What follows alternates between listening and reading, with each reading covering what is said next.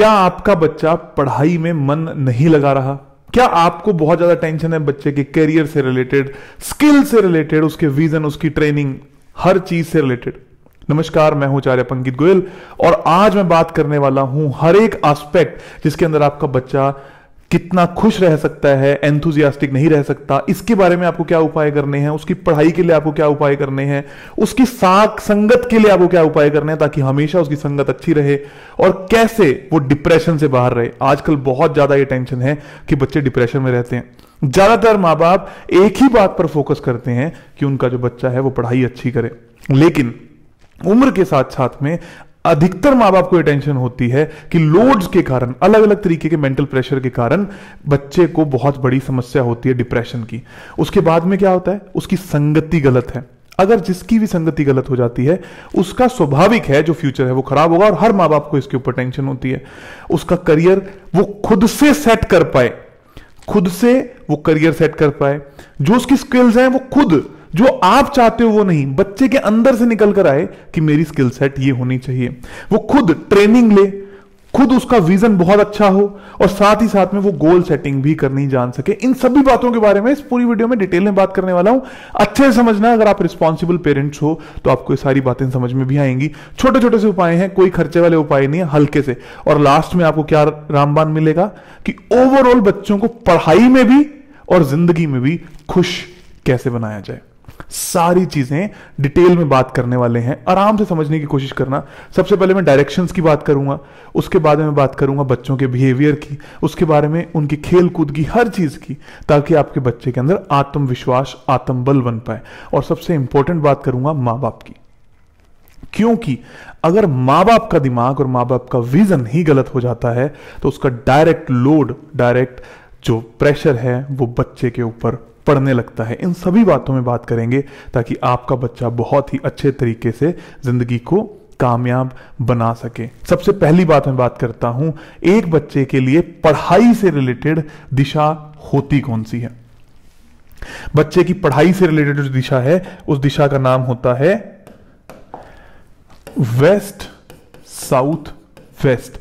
W S W ये दिशा पाई कहाँ जाती है? इस बात को ध्यान से गौर करना। कहाँ पाई जाती है दिशा? अगर ये आपका घर है और ये नॉर्थ है, इस बार मैं थोड़ा सा अलग एग्जांपल लेता हूँ। हर बार मैं नॉर्थ इस तरफ़ दिखाता हूँ, मैं आज इधर दिखा रहा हूँ नॉर्थ। ये आपका वेस्ट हो गया। तो हल्का सा साढ़े ग्यारह डिग्री छोड़ दीजिए, इस वेस्ट से एग्जैक्टली आपका कंपास निकल जाएगा। उसके बाद जो साढ़े बाईस डिग्री का ये दिशा बनती है, जिसको लोग साउथ वेस्ट समझ लेते हैं एक्चुअल में वो वेस्ट साउथ वेस्ट होती है। इसका सबसे ज़्यादा बड़ा प्रभाव है आपके बच्चे की ओवरऑल एजुकेशन पे। मैं सिर्फ़ इस बारे में बात नहीं कर रहा कि वो पढ़ाई में कितने नंबर लेके आएगा। मैं बात कर रहा हूँ ओवरऑल एजुकेशन पे ओवरऑल लर्निंग पे। ज़्यादातर बच्चों की लर्निंग के ऊपर बहुत ज़्यादा काम होता ही नहीं है और यही दिशा है जो उसको एजुकेशन प्रोवाइड कराने वाली है। हमें इस दिशा के अंदर क्या नहीं चाहिए? सबसे पहले हम क्या बात करेंगे? क्या नहीं चाहिए? नोट्स ज़रूर बनाकर चलना। मैं हर बार पिछली कुछ वीडियो में आप सभी लोगों को ये बात बोल रहा हूँ, सिर्फ़ सीरियस जो स्टूडेंट्स हैं वास्तु वास्तु के, वही इस वीडियोस को देखिए। नोट्स बनाते हुए चलना, क्या नहीं होना चाहिए वेस्ट साउथ वेस्ट के अंदर? ग्रीन कलर नहीं होना चाहिए। उसके बाद क्या नहीं होना चाहिए? रेड कलर नहीं होना चाहिए। कुछ लोग मुझे बोलते हैं कि आप हिंदी में बोलो, और मैं कई बार ये कमेंट कर चुका हूँ, इससे ज़्यादा हिंदी में कैसे बात करें? हरा रंग, लाल रंग, कहा नहीं होना चाहिए? पश्चिमी नृत्य में, अगर आपको ये बात समझ में आई। पश्चिमी नृत्य क्या होता है? वेस्ट ऑफ़ साउथ वेस्ट नृत्य कौन? कि और पश्चिम के बीच में आने वाला पश्चिमी नृत्य जिसको हम वेस्ट साउथ वेस्ट बोलते हैं, वहाँ पर ये रंग नहीं होने चाहिए। और क्या नहीं होनी चाहिए? टॉयलेट नहीं होनी चाहिए। अगर टॉयलेट है तो इसका क्या उपाय करेंगे? आयरन की स्ट्रिप या ब्लू और व्हाइट दोनों में से कोई भी लगा सकते हैं। व्हाइट प्रेफरेबल है। चलो आप एक काम कीजिए व्हाइट के साथ में जाते हैं। व्हाइट कलर की टेप इस टॉयलेट के चारों तरफ़ लगा देंगे। अब कुछ लोग मेरे से बार बार हर वीडियो में पूछते हैं, जो लोग नए हैं, कि टेप कैसे लगाई जाती है। मैं एक्सप्लेन कर दूँ। सपोजिंगली कि ये आपकी दीवार है, यहाँ पर टॉयलेट सीट बनी हुई है। नीचे ज़मीन पर चारों तरफ़ टेप लगाई जाती है। उसका सैंपल मैं अभी आपको स्क्रीन पर दिखा भी दूँगा। ये सारी इंपॉर्टेंट बात होगी। किससे रिलेटेड एजुकेशन और लर्निंग से रिलेटेड एक सबसे इंपॉर्टेंट दिशा आप लोगों को मिली। उसके बाद जो दूसरी दिशा की मैं बात करता हूँ, वो दिशा है नॉर्थ ईस्ट आप मेरी हर वीडियो के अंदर पाएँगे कि मैं नॉर्थ ईस्ट का ज़िक्र ज़रूर करता हूँ। क्योंकि जहाँ पर दिमाग सही है तो वहाँ पर हर चीज़ में बरकत होने लगती है। नॉर्थ ईस्ट दिशा में क्या क्या नहीं होना चाहिए? फिर से लाल रंग। अब जो लोग इसको हिंदी में बोलते हैं, इसको बोलते हैं ईशान। ईशान कौन बोलते हैं? या उत्तर पूर्व दिशा भी इसको बोला जाता है। लाल रंग रेड कलर नहीं होना चाहिए। Yellow colour, dark yellow colour नहीं होना चाहिए। यहाँ पर कोई भी क्लटर नहीं होना चाहिए। किचन नहीं होनी चाहिए और टॉयलेट नहीं होनी चाहिए। इन सभी विशेषकर बातों का ध्यान रखो। किचन और टॉयलेट का कोई इलाज नहीं है। क्लटर आपको हटाना पड़ेगा। ये सब कलर्स आपको वहाँ से हटाकर क्या पेंट करवाना पड़ेगा? ऑफ़ वाइट ये हो गई जनहित वाली बातें कि हाँ ये तो हर बच्चे को अच्छा करेंगी। अब कुछ लोग छूटते ही कमेंट करते हैं तो क्या अब सारी दुनिया के बच्चे पढ़ने लगेंगे? क्या सब फ़र्स्ट आने लगेंगे? क्या सभी के नंबर नब्बे परसेंट से ऊपर आने लगेंगे? ऐसा बिल्कुल नहीं होने वाला। होने क्या वाला है? उसको एजुकेशन मिलेगी। इंपॉर्टेंट है एजुकेशन एक व्यक्ति जो अपने फ़ील्ड के अंदर पर्याप्त मात्रा में नॉलेज रखता है, जिसको पता है कि मुझे इस फ़ील्ड के अंदर जाना है, हो सकता है वो इंजीनियर या डॉक्टर ना बने, लेकिन वो अच्छा वास्तु कंसल्टेंट बन सकता है, लेकिन वो अच्छा एक्टर बन सकता है, लेकिन वो अच्छा आर्टिस्ट बन सकता है। इस बात की नॉलेज उसको दिलाएगी वेस्ट साउथ वेस्ट और आपको उसके फ्यूचर की चिंता को छोड़ देना है, क्योंकि वो व्यक्ति, वो बच्चा सही हो जाएगा। यहाँ पर नॉर्थ ईस्ट का एक और बहुत बड़ा रोल यह आता है कि जो पेरेंट्स हैं उनकी बहुत बड़ी गलती देखने को मिलती है। अपना जो ज़िंदगी के अंदर वो नहीं कर पाए, वो उसके ऊपर थोप देते हैं कि भाई, मैं तो कभी इंजीनियर नहीं बन पाया, तू ही बन जा। अरे, तू ही नहीं बन पाया, तेरा बच्चा नहीं बन पाएगा। कितनी बड़ी बात हो गई है इंपॉर्टेंट ये है कि ये कुछ अच्छा करे जीवन में, उस पर प्रेशर हटाओ। वो जो करना चाहता है, उसको वो करवा के दो। सिर्फ़ इन दिशाओं को बैलेंस कर लो। और हाँ अगर आप भी कुछ बन चुके हैं तो भी ये पॉसिबल है कि आपका बच्चा वो सेम ना बने। घर में चार बच्चे हो सकते हैं, एक पढ़ाई में अच्छा होगा, लेकिन वेस्ट साउथ वेस्ट या नॉर्थ ईस्ट सही होने से क्या होगा? सब अपने अपने फ़ील्ड में एजुकेशन में होंगे। कुछ लोग बोलेंगे, एक ही वास्तु, एक बच्चा बहुत पढ़ता है, दूसरा बिल्कुल नहीं पढ़ता। इस बात का सटीक आंसर यह है कि एक बच्चे को नॉलेज किसी और फ़ील्ड की होगी, दूसरे को किसी दूसरे फ़ील्ड की होगी। मेरे ही घर का एग्ज़ाम्पल हमारे वेस्ट साउथ वेस्ट में टॉयलेट हुआ करती थी। हम पढ़ाई में अच्छे नहीं रहे। जिस दिन उस टॉयलेट को ट्रीट करवाया गया, आज से सात आठ साल पहले, मेरी एजुकेशन बहुत बढ़ गई। हमारे घर में रहने वाले और बच्चे, जैसे मेरी, हम उम्र का मेरा भाई, उसकी एजुकेशन अपने फ़ील्ड के अंदर बहुत ज़्यादा होती चली गई। इसका मतलब ये थोड़ी है कि वो आईएएस अफसर लगने लग जाएँगे। इट इज़ मोर इंपॉर्टेंट कि वो करता क्या है और उसको मिलेगा क्या। आप सभी लोगों को ये बात समझ में आई होगी। इसी के लिए मैं लेकर आ रहा हूँ एक कोर्स सिर्फ़ और सिर्फ़ बच्चों के लिए, जो कि स्टार्ट होगा जनवरी में।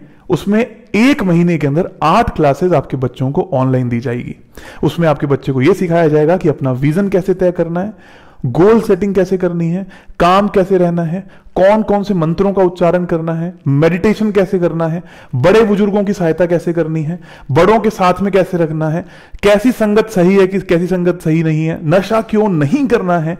कैसे नशे से बचा जाए? हर तरीके की चीज़ जो पेरेंट्स मुझे लिख के देंगे, सभी चीज़ों के ऊपर मैं वर्किंग करवाऊँगा। सिर्फ़ five hundred rupees monthly charges रहेंगे और फिर वो बच्चा जिस भी एज ग्रुप का होगा, वो उस प्रोसेस को फॉलो करता जाएगा और आई बेट आई गारंटी कि अगले दो साल के अंदर आपके बच्चे की उम्र अगर वाकई में देखने लायक है टीन एज में अगर वो है तो अगले दो साल के अंदर आपका बच्चा वो कर दिखाएगा जो कोई और बच्चे नहीं कर पा रहे हैं। उसका सिंपल सा रीजन क्या है?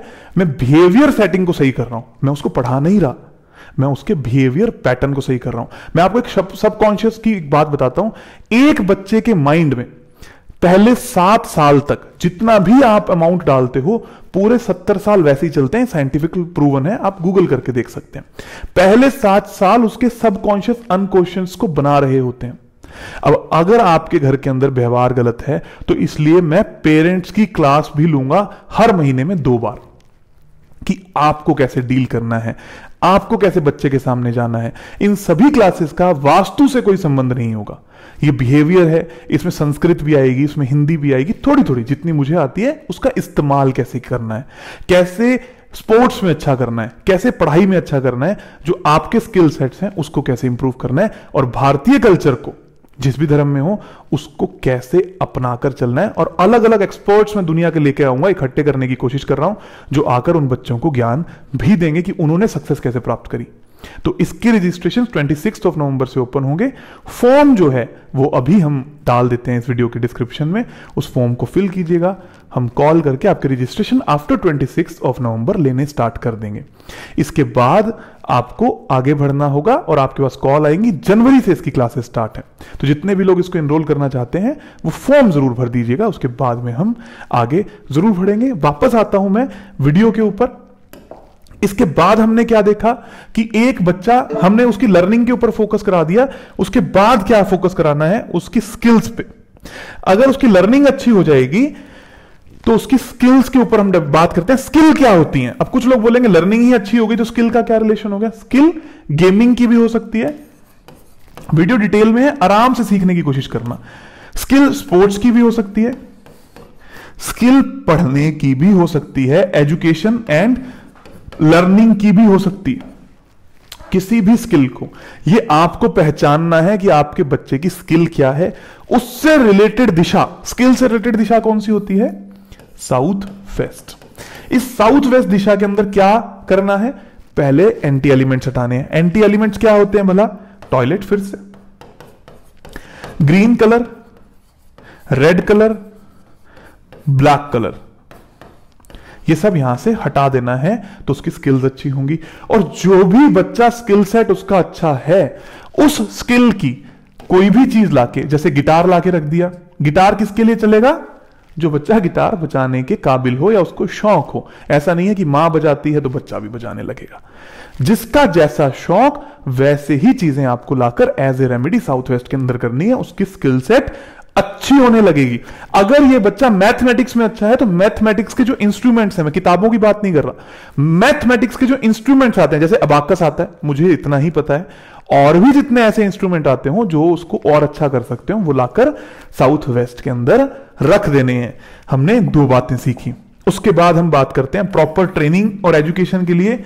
फिर से बात आती है वेस्ट साउथ वेस्ट की, जो कि मैंने आपको बता दी है। और विजन एक बच्चे का विजन जो है, वो सेट होता है वेस्ट डायरेक्शन से। विजन क्या है? ज़िंदगी के अंदर क्या करना है, इस बात की पकड़ होना। एंटी एलिमेंट्स आप लोगों को मैं बता चुका हूँ।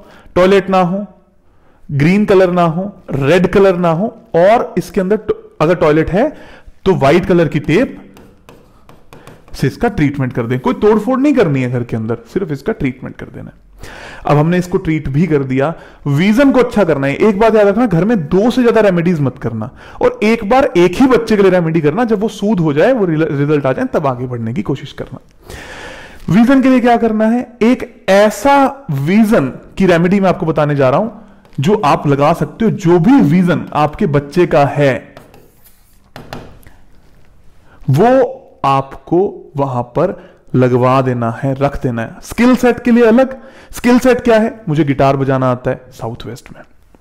गिटार सीखने से रिलेटेड नॉलेज को वेस्ट साउथ वेस्ट में। और फाइनली जो भी चीज़ें उसका विजन है, जैसे वो गिटारिस्ट बनना चाहता है, वो फलाने फलाने के साथ में काम करना चाहता है, वो बॉलीवुड में काम करना चाहता है, वो हॉलीवुड में, उस विजन से रिलेटेड डॉक्यूमेंट्स या वैसी इमेजेस को कहाँ लगाना है? वेस्ट में। ये तीनों दिशाओं का मेजर रोल है जो आपके बच्चे को कामयाब इंसान बनाएगा। अब आगे बढ़ते हैं कि कैसे आपका बच्चा खुश रहे या आपका बच्चा डिप्रेशन के अंदर ना आए। इन दोनों बातों के ऊपर हम बात करते हैं। नंबर वन वो डिप्रेशन में ना आए। नंबर टू वो खुश रहे, वो हैप्पी रहे। डिप्रेशन की नेक्स्ट डायरेक्शन होती है west of north west west north west दिशा कहाँ पर आती है? सबसे पहले मैं आप लोगों को यह बता दूँ। वेस्ट नॉर्थ वेस्ट दिशा आती है नॉर्थ वेस्ट और वेस्ट के बीच में। वेस्ट मतलब पश्चिम नॉर्थ वेस्ट मतलब उत्तर, पश्चिम। इन दोनों के बीच में आती है वेस्ट नॉर्थ वेस्ट कहाँ पर आएगी? मान लीजिए आपका घर है। यहाँ आपका नॉर्थ है। तो यहाँ पर आएगा लगभग नॉर्थ वेस्ट। तो यहाँ कहीं आपका वेस्ट, नॉर्थ वेस्ट आएगा। ग्रेडेड मैप हमेशा फॉलो करना है। ग्रेडेड मैप के बिना आपको कोई काम नहीं करना। यह वेस्ट, नॉर्थ वेस्ट दिशा में आपका बच्चा ना तो बैठे, ना वो पढ़ाई करे।